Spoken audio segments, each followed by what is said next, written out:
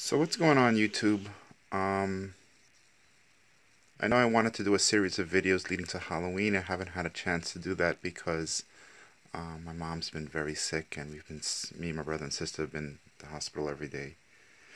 Um, but today I thought it would be apropos to show off my crow bust by Bobby Causey um, in honor of the actor who played Funboy who just recently passed away and not to mention that the movie that came out in 1994 um, takes place on Devil's Night, October 30th, and that's today.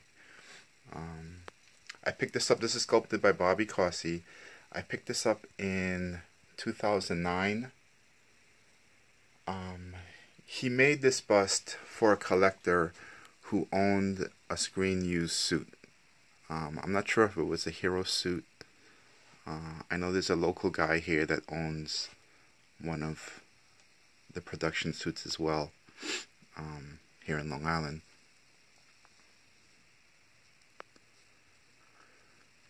The bust was made um, for a life-size figure that Kelly DeCambre of KMD Theatrics um, they built a body for and it was originally a silicone bust.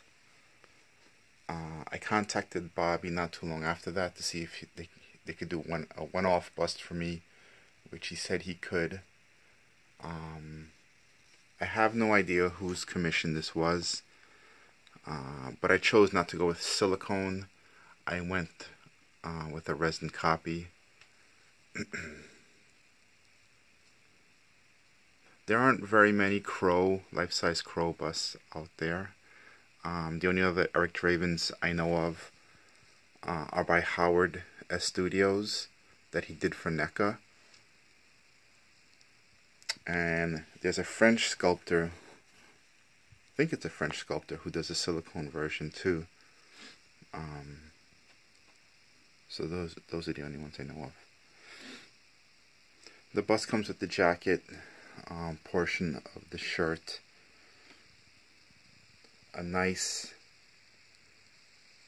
paint job. I know it's the the face paint on Eric Draven isn't terribly complex, um, but Bobby did a really good job with it.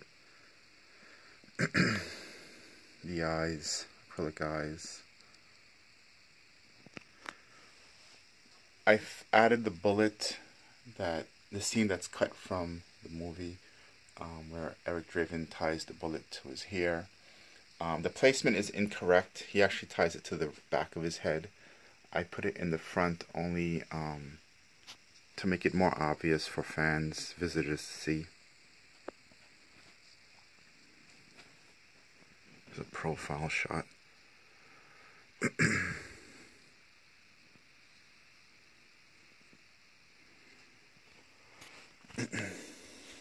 Shelley Webster's engagement ring. Never mind the um the plaque. That's the plaque for my old um, crow bust.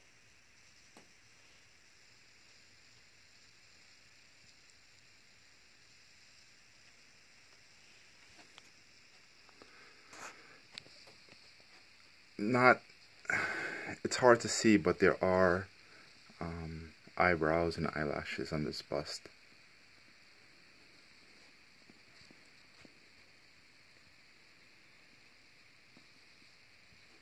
This is about the sixth or seventh piece um, that Bobby's done for me.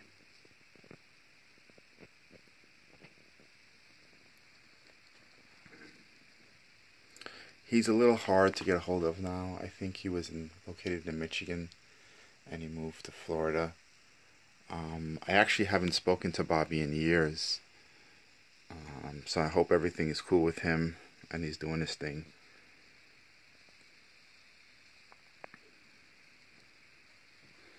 So there you have it. Eric Draven as a crow, Brandon Lee from the 1994 movie The Crow. Life-size resin bust, mixed media elements added. Um, Hope you guys enjoyed the video. Hope you guys have a happy and safe Halloween 2016. And as soon as things are back to normal with my mom, I'll get back to making videos on a weekly basis. So until then, uh, you guys enjoy. Alright, I'll just close out the video uh, with some close-ups.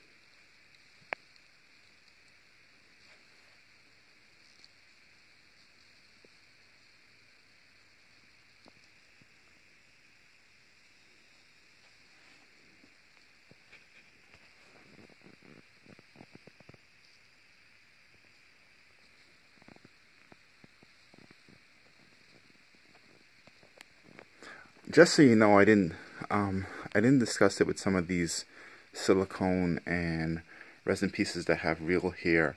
This one, the hair, there's less maintenance on it because we kind of hairsprayed the shit out of it. Um, so the hair is kind of locked into place. I maybe spray it once a year, if that. So this one is one of the easier ones. This one and my Joker, Heath Ledger Joker, are pretty easy, fairly easy to uh, maintain.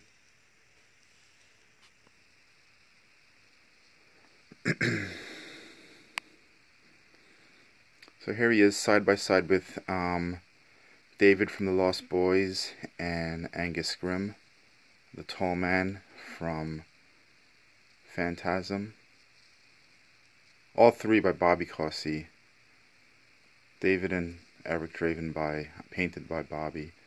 Um, the Phantasm, which I'll feature in another video, somewhere down the line, was finished by John Alred. But I digress. Talk to you guys soon. Happy Halloween.